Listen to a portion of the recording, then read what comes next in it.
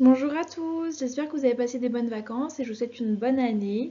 Euh, du coup aujourd'hui on va poursuivre l'approfondissement de la biologie cellulaire euh, avec le cours sur les caractéristiques du cancer. Donc je sais que vous avez déjà eu une très grosse partie sur le cancer euh, bah, au premier semestre, mais il y a quelques petites parties que, que Gilson n'a pas abordées en fait lors de son cours et qu'il faisait les années précédentes. Du coup, comme on ne connaît toujours pas le programme du deuxième semestre, on a jugé utile de vous les présenter parce que il aime tellement ce cours sur le cancer et la sénescence qu'il euh, y a peut-être des chances que ça puisse tomber aussi au deuxième semestre. Donc, euh, à propos des caractéristiques du cancer. Alors, on va aborder la première notion, celle de la sélection clonale, première caractéristique du cancer. Euh, donc le cancer, ce qu'il faut savoir, c'est que c'est un ensemble de cellules qui va provenir d'une première cellule qui va se diviser, donc c'est le principe de la division qui va se diviser pour donner plein de cellules différentes. Les cellules que, va donner cette unique cellule, elles vont être dites hétérogènes. Donc hétérogènes, c'est-à-dire qu'elles vont avoir toutes des caractéristiques différentes. À quoi c'est dû? Bah, Simplement au fait qu'au cours de la progression de la tumeur, on va avoir l'acquisition euh, de mutations et de caractéristiques euh, par justement ces cellules cancéreuses. Euh, et toutes ces mutations, ces caractéristiques vont être sélectionnées parce qu'elles vont permettre au, cancer de pouvoir se propager, de pouvoir s'adapter à l'environnement, etc., etc. On peut faire un parallèle avec la théorie de l'évolution. donc vous savez que bah, les espèces animales dans leur milieu, en fait, au fur et à mesure de leur évolution, elles vont prendre toutes les caractéristiques et les mutations qui vont leur être intéressantes pour y survivre. Euh, voilà, donc euh, là c'est la même chose avec les cellules cancéreuses dans notre corps. Donc par exemple, lors d'un traitement, on peut réussir à éliminer, donc on fait une chimiothérapie, on élimine 95% des cellules, mais c'est pas assez parce qu'il restera 5% des cellules et ces 5% des cellules, elles auront réussi à, euh, ne, à, survivre en fait à la thérapie. Donc elles auront acquis une mutation euh, de, euh, ben, en fait, de survivre à la, thérapie. Et en fait à partir de, ces 5%, on peut avoir une division qui va se faire, qui peut venir reformer une nouvelle tumeur. Et cette tumeur du coup va être composée de cellules qui posséderont la, la mutation de résistance à la thérapie. Et donc là, euh, bah, il faudra changer de traitement. En fait, le, premier médicament ne, marchera plus. Euh, et euh, c'est là où c'est dangereux, enfin c'est là où c'est dangereux, et c'est un peu comme avec les, antibiotiques.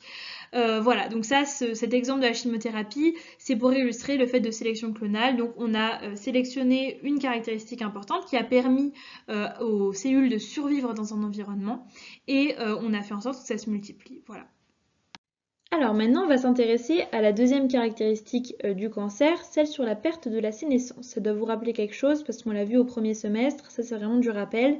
Euh, donc notamment le fait que la sénescence est une barrière contre les phénomènes pro-oncogéniques. Donc en fait, euh, quand on a une, cellule qui va subir par exemple des altérations, des altérations génétiques, voilà, ou une altération de son programme génétique ou des stress oncogéniques importants, elle va entrer en sénescence pour se protéger. Donc euh, l'état de sénescence, c'est un état dans lequel la cellule va être métaboliquement active, mais euh, elle ne pourra plus se diviser, c'est un état qui est dit irréversible. Euh, donc voilà, donc le, problème c'est que la cellule cancéreuse, bah, elle essaie de contourner la sénescence, parce que c'est un état dans lequel elle ne peut plus se diviser, elle ne peut pas proliférer, donc ça l'intéresse pas vraiment de rentrer en sénescence, et elle va essayer de contourner ça.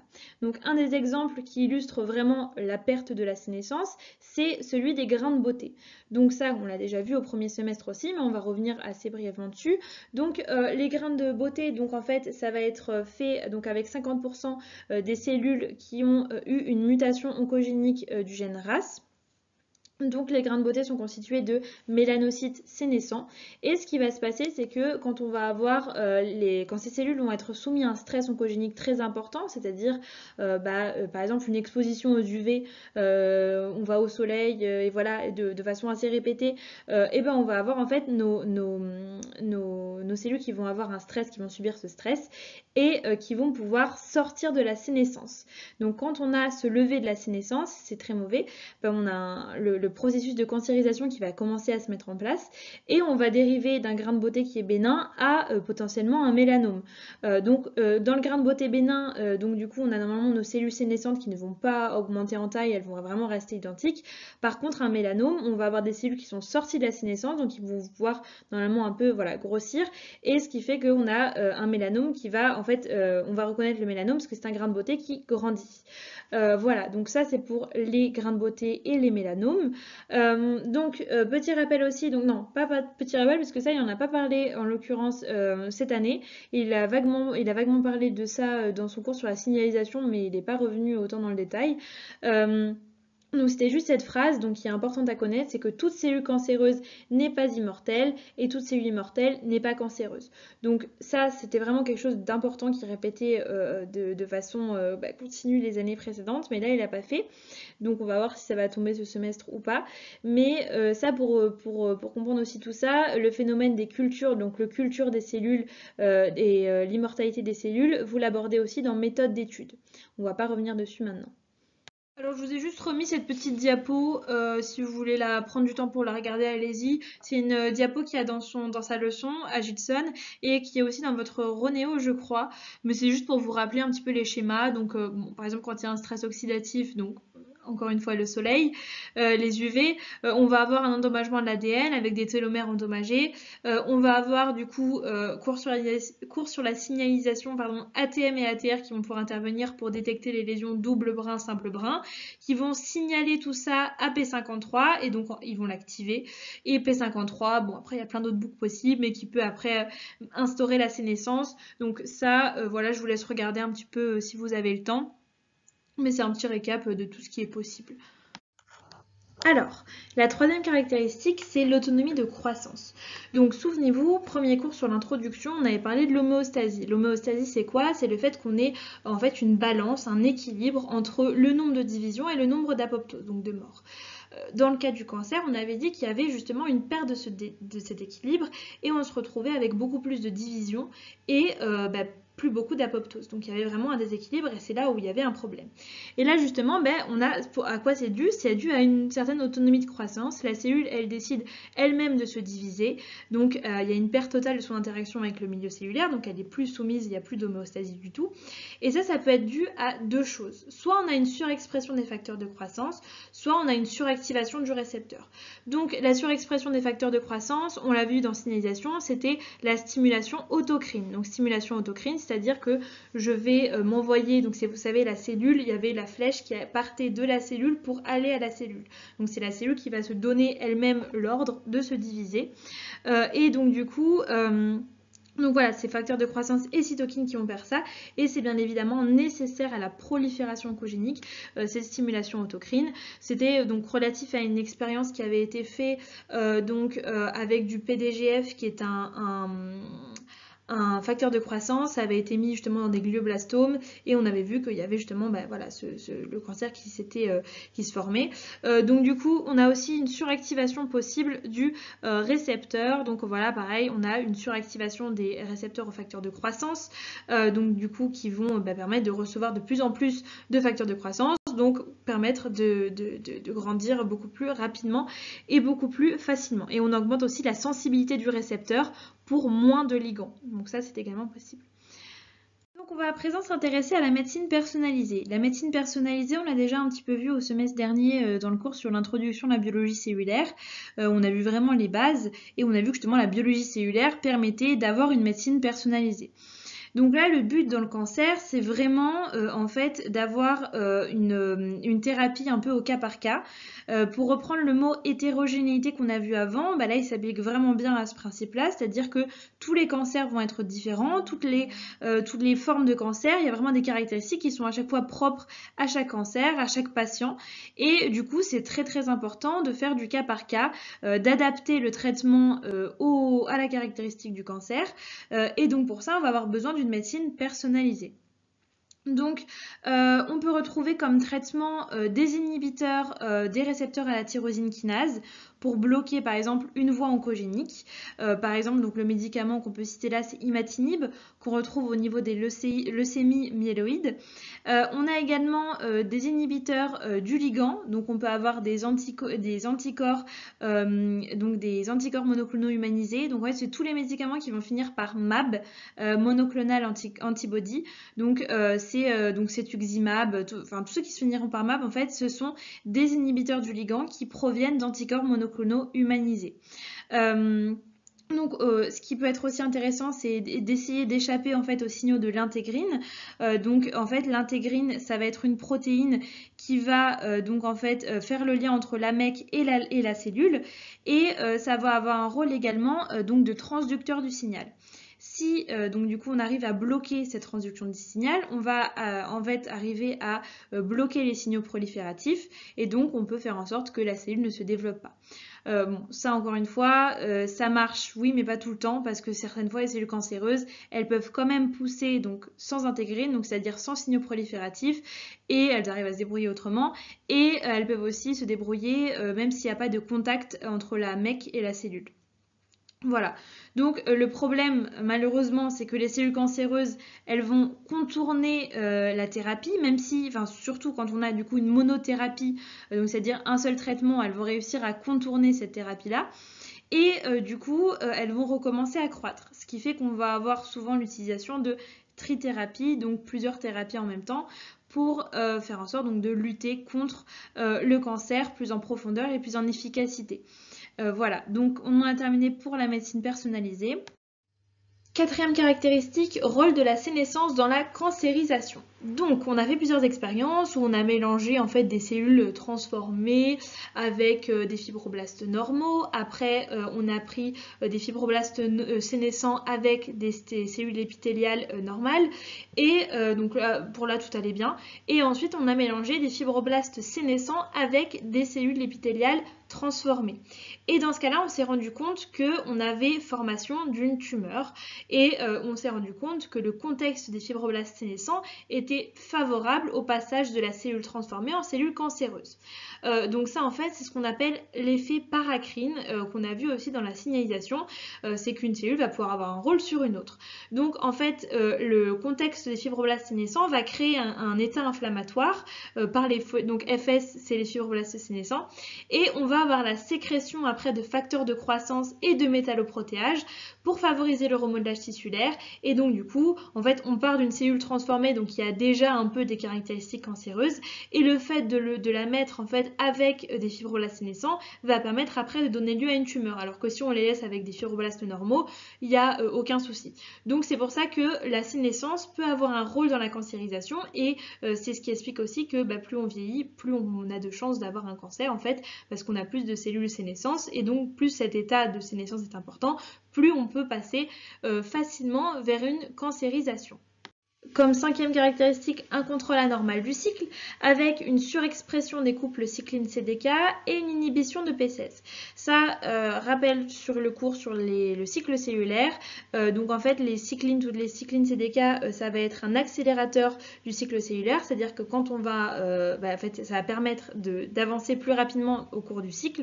Et au contraire, P16, P53, etc., etc., vont être des protéines qui vont au contraire permettre de freiner un petit peu la progression du cycle, de faire vraiment des contrôles plus approfondis, voilà. Et donc du coup, euh, en fait, euh, si on a une surexpression d'un accélérateur, donc les CDK, et une inhibition d'un frein P16 ou P53, on va avoir du coup, euh, bah, en fait, bah, un, contrôle anormal du cycle et donc des divisions qui vont s'enchaîner, s'enchaîner, sans vraiment, sans, vraiment que la cellule elle rentre en quiescence, ce genre de choses là.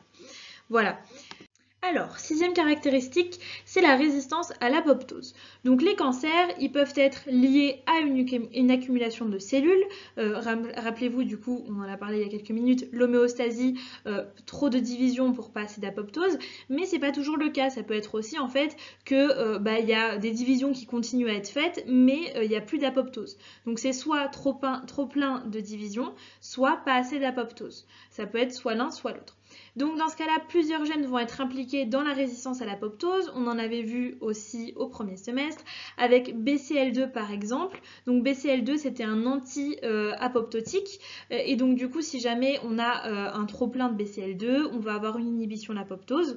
Euh, P53 Bax c'était en fait euh, donc du coup quelque chose qui était au contraire du coup plutôt pro-apoptotique.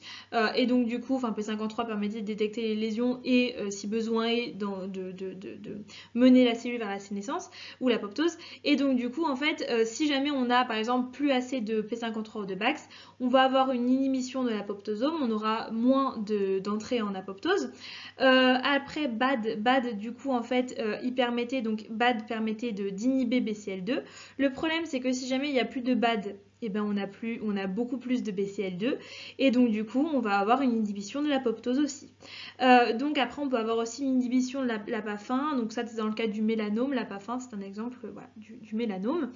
Euh, donc pour montrer qu'il y a tous ces gènes là qui sont impliqués dans la résistance à l'apoptose et c'est important de connaître les rôles de chacun de ces gènes.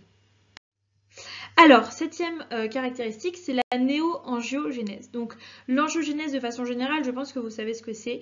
Euh, c'est un processus totalement normal de formation des vaisseaux qui intervient chez tout le monde, en fait, euh, bah, notamment en embryologie pour, pour, pour du coup, bah, pour, pour qu'on puisse se développer.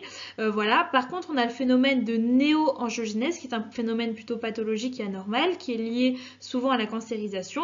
donc, on va avoir des vaisseaux qui vont être formés, mais de façon, du coup, anormale. Euh, donc en fait, ce qui va se passer, c'est que la tumeur, comme on l'a dit avant, elle a besoin de toujours, toujours, toujours grandir. Pour grandir, elle a besoin de quoi? Bah, Elle a besoin d'oxygène parce que bah, malgré tout, elle a besoin d'oxygène pour survivre. Et elle a aussi besoin de nutriments. Les nutriments et l'oxygène, ils passent par le sang. Donc elle a besoin de faire un peu détourner euh, les vaisseaux pour avoir euh, tout le sang et l'oxygène dont elle a besoin. Donc voilà, donc on va détourner des vaisseaux pour apporter de l'oxygène. On va voir après comment est-ce qu'on arrive à déporter des vaisseaux ou même à en créer des nouveaux. On va le voir dans la diapo d'après. Euh, et donc en fait, voilà, donc là on voit bien aussi sur sur l'image, donc plus en fait là on a les vaisseaux qui commencent à aller vers la tumeur et qui commencent du coup à croître, à croître, à croître. Et euh, donc en fait, plus il y a d'oxygène pour la tumeur, plus il y a de croissance. Donc on va avoir une augmentation locale des vaisseaux. Le problème c'est que ces vaisseaux seront très souvent euh, mal formés, euh, ils seront troués. Euh, c'est pas des vaisseaux qui vont être très bien faits, ils vont être un peu faits, un peu vite faits, voilà, et donc du coup mal faits. Et donc ce sont des vaisseaux qui peuvent provoquer des saignements. C'est pour ça des fois on parlera de tumeurs hémorragiques dans le cas où ça va provoquer des saignements. Donc du coup, tout va partir de la protéine HIF1 qui va en fait venir activer la formation de VEGF qui va être sécrétée par les cellules tumorales pour augmenter la densité locale des vaisseaux. VEGF, donc c'est un growth factor, donc c'est, pardon pour l'accent anglais, du coup c'est un, facteur de croissance euh, pour les vaisseaux.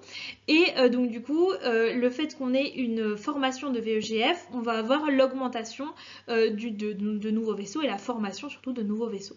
Donc bah, la tumeur va arriver à activer des gènes pour augmenter le taux d'oxygène et va favoriser aussi tout ce qui est vasodilatation. Donc quand on va vasodilater, on va arriver à apporter bah, beaucoup plus de sang, donc plus d'oxygène et de nutriments.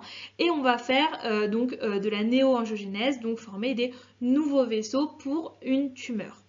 Donc, comment qu'on arrive à former euh, donc du coup des nouveaux vaisseaux et comment HIF1 parvient-il à détecter une hypoxie?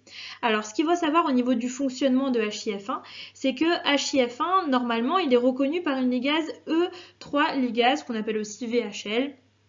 Voilà, donc en fait, euh, cette interaction, donc il y a une interaction qui va se passer entre les deux, mais cette interaction, c'est dit une hydroxylation.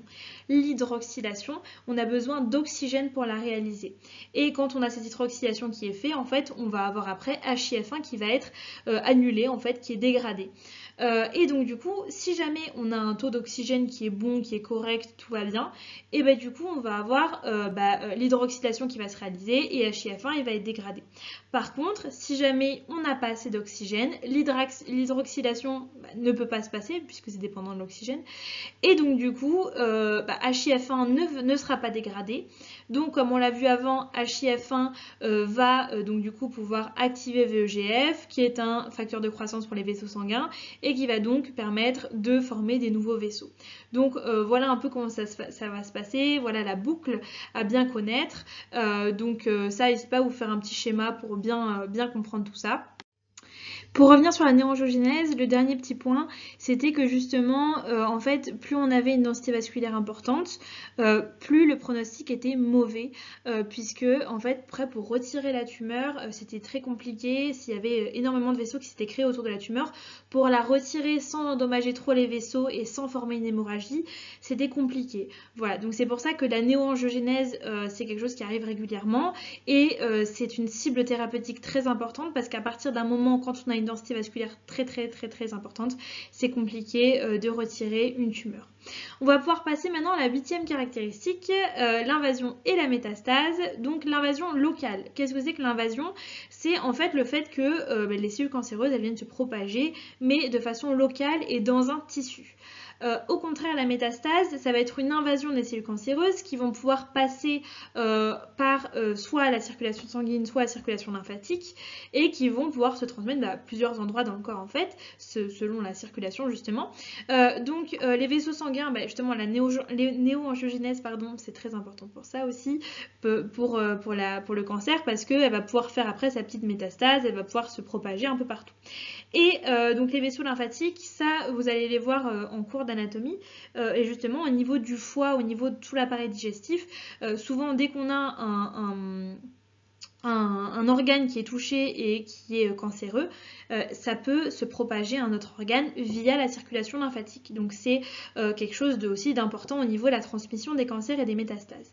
alors au niveau, donc on va avoir une dédifférenciation des cellules cancéreuses. Donc dédifférenciation des cellules cancéreuses, c'est-à-dire qu'on peut avoir par exemple une cellule qui était de base mésenchymateuse et qui va se transformer en cellule épithéliale ou un autre type de cellule, peu importe. Et, donc du coup en fait en changeant de en se dédifférenciant, la cellule va pouvoir avoir des caractéristiques qui vont lui être intéressantes pour se propager et pour euh, donc du coup être, transportée. Par exemple euh, un aplatissement, par exemple euh, un diamètre moins important, ce genre de choses là qui font que la cellule va avoir beaucoup plus de facilité à se déplacer. Donc ça, voilà, des différenciations des cellules cancéreuses. Euh, et euh, donc comment on fait pour, avoir une métastase? Eh euh, ça va se faire par étapes, une progression. Voilà, on passe de notre tumeur initiale, tumeur primaire, puis on va avoir une invasion, donc du coup au tissu environnant, une invasion locale. Puis on va avoir une intravasation, donc on va avoir les cellules cancéreuses qui vont passer par la circulation sanguine, puis une extravasation, donc ça va ressortir de la circulation sanguine. Ensuite, donc dans un tissu, on va avoir la formation de micro-métastases, donc toutes petites métastases qui vont avec le temps, avec la division, etc., l'apport de nutriments, se transformer en métastases. Donc voilà comment on passe d'une tumeur primaire à une métastase. Et du coup, comment est-ce que c'est possible qu'on ait de la formation de métastases Comment est-ce que c'est possible qu'on passe euh, d'une cellule, euh, cellule cancéreuse qui est dans un environnement, dans un tissu donné, qui passe par le sang, qui en ressorte et puis après qui se retrouve dans un autre tissu? Comment est-ce que c'est possible? Du coup, on va avoir la sécrétion euh, de métalloprotéases qui va permettre de passer dans le sang, en fait, de, de détruire donc le collagène et la fibronectine, de détruire la lame basale et de pouvoir passer après en fait dans le dans le sang tout simplement. On va avoir aussi la destruction des molécules d'adhésion intercellulaire telles que la cadérine, les protéines à domaine leptine, le CAT.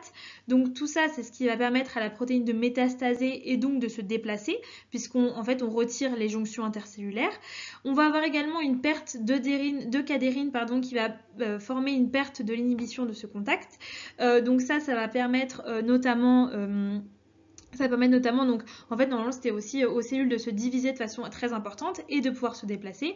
Et on va avoir après une perte des intégrines avec une perte de liaison à la MEC, la matrice extracellulaire, et, euh, la aux protéolyses après de la lame basale.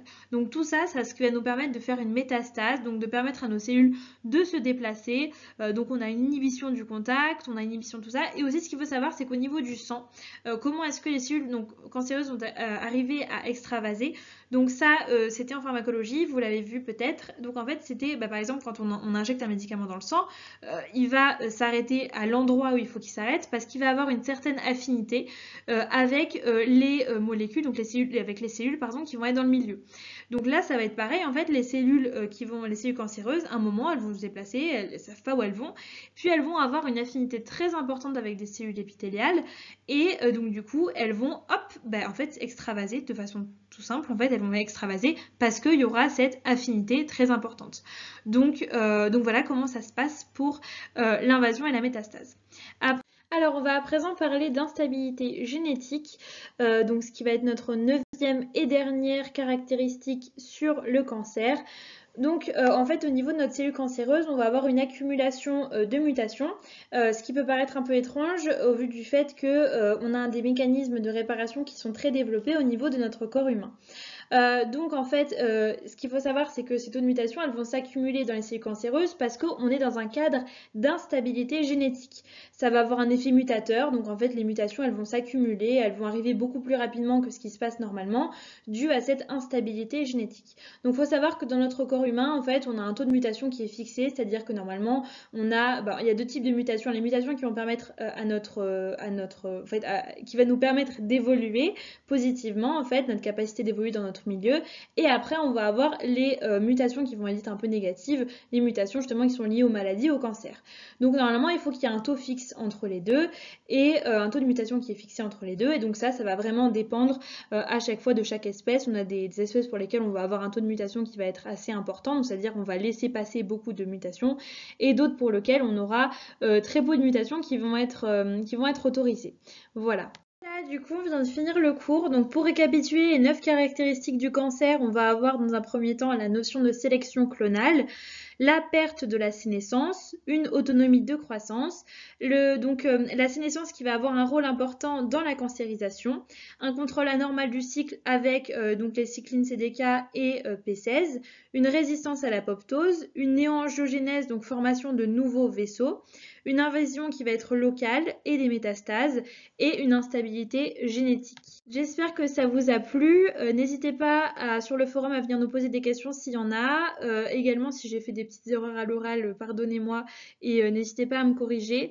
Et, voilà, bah, je vous souhaite une belle fin de la suite rentrée et à bientôt.